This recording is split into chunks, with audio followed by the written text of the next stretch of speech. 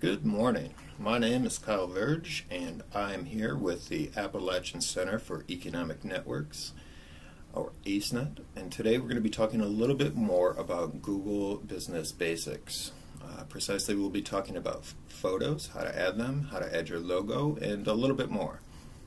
So I'm going to walk you through that today. Alright, so a brief recap before we get started. Uh, if you haven't seen my previous webinars, you won't know that I started a fake business called Meow Meow Business, and I registered this with the with uh, Google.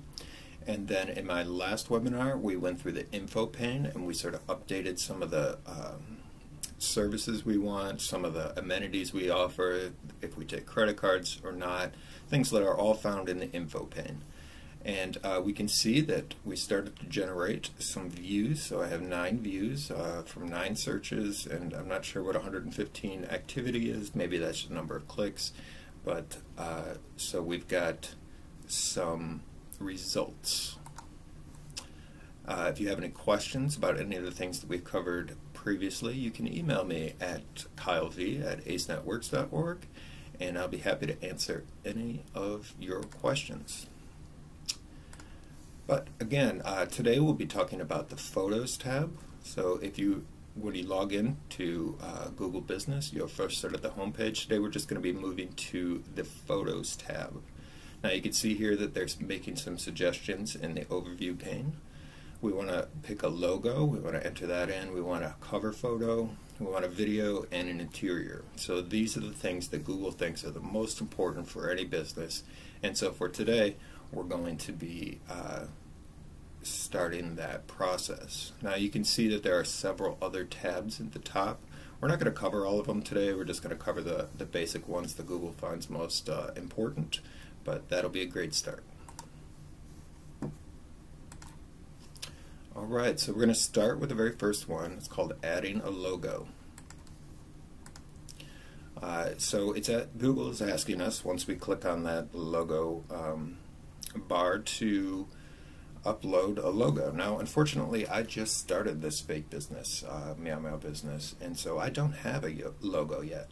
However, that's not a big problem. We can create one in five minutes that looks slightly presentable, something that'll work for us until we have time or uh, we have access to the people that can really design us a nice one. So what I'm going to suggest that we do if you want to create your own logo is go to a site called Canva. Now uh, you can get to it by just googling Canva and uh, it should come up first of course and what you'll see is a logos button that we can press and that should take us directly to the interface to get started. We can of course get there by going to just the Canva one but this is exactly where you want to go. So if we did click on that uh, logo tab, it should take us to something that looks like this. And all we're going to do is click on this one in the center, or we could click on login. but either way you go, it's going to ask you to log in before you get started. Now the reason it's asking you to log in is because you'll have to download what you create in Canva and uh, they're going to want your email address in exchange for that. Uh, it's probably for marketing, but uh, whatever the reason they want it, uh, we're going to have to abide by that in order to use their programming. So we see we can sign up with Google, we can sign up with Facebook, or sign up with an email. I like to sign up with Google just because I already have a particular Google address associated with my business, and that way I'm not really confusing which login information I'm using for which site. I can just keep it all clean and organized. However, you can choose any way you want to pretty simple login process, but uh, you'll have to go through that before we can get into the logo maker. So this is what you should see uh, when you have logged in. You can see that uh, there are several templates for all sorts of logos that they offer for free. Now again, because I am uh, creating that fake business called Meow Meow Business, which is associated with cats, and I want to make sure that my logo actually reflects my business name so that people aren't confused, things like that.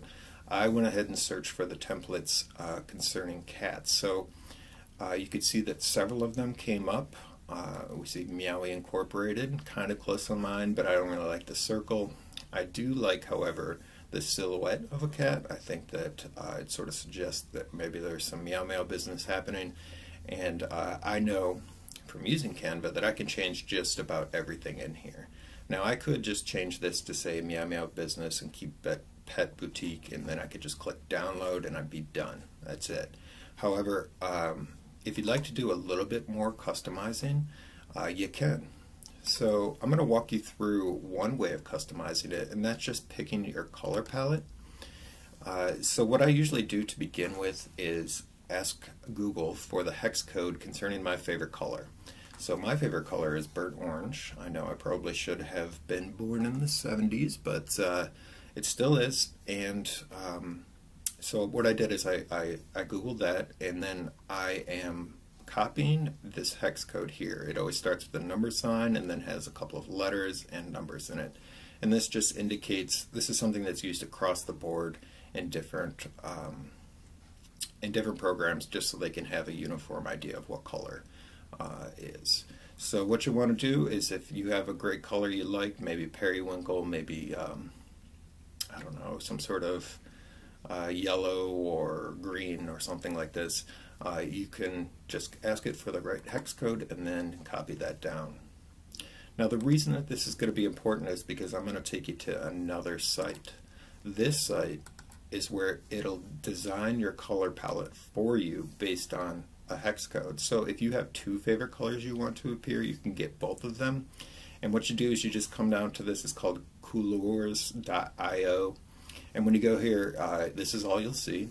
And what you can do is you can enter into the hex code here at the bottom after clicking on one of these, and then just press lock. At that point, you can generate different color, color palettes based on uh, that one that you entered and locked and uh, so I just went with the very first one that it suggested. So I have a rifle green a dark blue, uh, slate blue a honeydew a gray uh, and I'm gonna go with that with my logo. So what I did is I used the interface at Canva to sort of change all of these things. Now I'm not going to be going through how to do that precisely. Um, one day I'll have a webinar associated with how to use Canva pretty effectively, but for right now, um, it's important to just play with this. Uh, you should be you, you will see that there are several ways to affect change in here, but you can see that I pulled my I put in my hex code for uh, my um, burnt orange here. Uh, here's my rifle gray, and here is another color that it suggested. Uh, so it doesn't look terrible. It's not blinding. Uh, you know, it, it doesn't look great either. But the important idea is that it will suffice until we can get something a little more professional.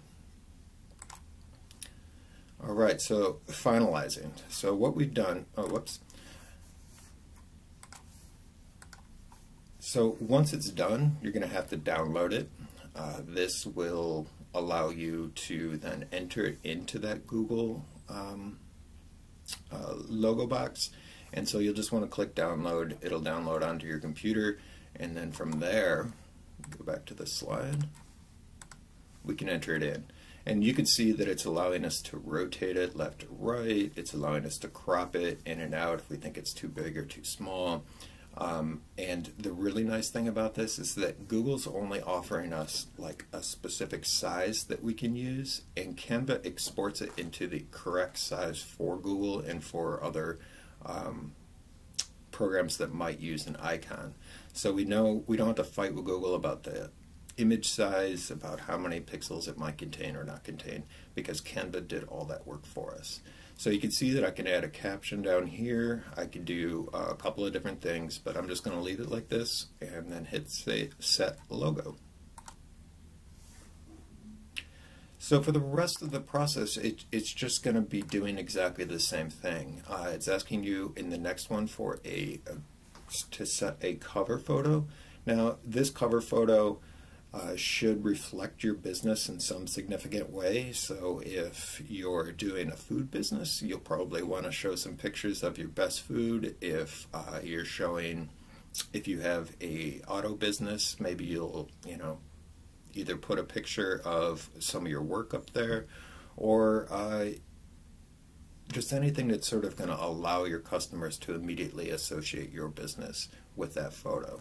So for me, that's going to be cats. Uh, so I have some pictures of my cat, uh, and I'm just going to drag that photo there, and that's going to serve as the main photo for Meow Meow Business because those two are pretty closely associated.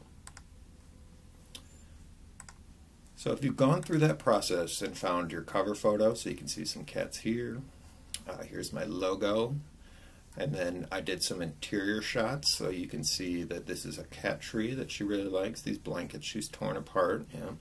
Here's a whole basket of cat toys that she never uses. So anyway, this is the interior of Meow Meow Business. Uh, if you have a real and actual business, you'll want to take some better shots here. Uh, but the point is, is that you can upload all these. It's pretty simple. Uh, this gray box that you see here is actually the video that I had uploaded. Pretty simple. It's just a video of my cat. You can go and check it out if you want to, um, but it's all up there. And then finally, uh, here is what it's called the 360 view. This is what Google did when uh, they were looking for my house on, uh, or were looking for my business rather, on uh, Google Business. They, this is actually across the street from me, but you can see that this would allow your customers to uh, zoom in and rotate in this video so they can get a 360 degree view of where your business might be located so that they can feel a little more comfortable um, you know, going there, parking there, trying to figure out if there's accessibility, things like that.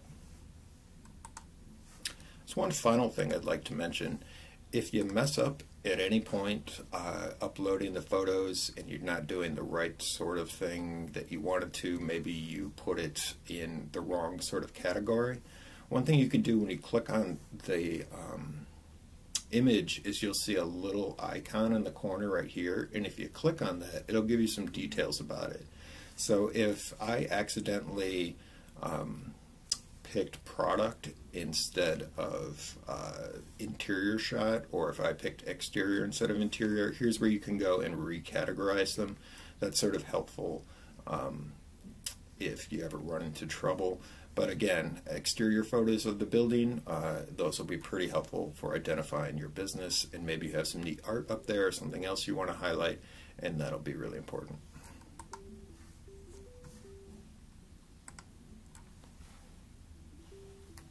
Thanks for watching the webinar. If you have any questions about making a logo, uh, about uploading your logo, about adding photos to your Google site, you can email me here, info at acenetworks.org or kylev at acenetworks.org. You can give me a call, you can find me on Facebook, or even through our website. Thanks for joining me today, and I hope you learned something.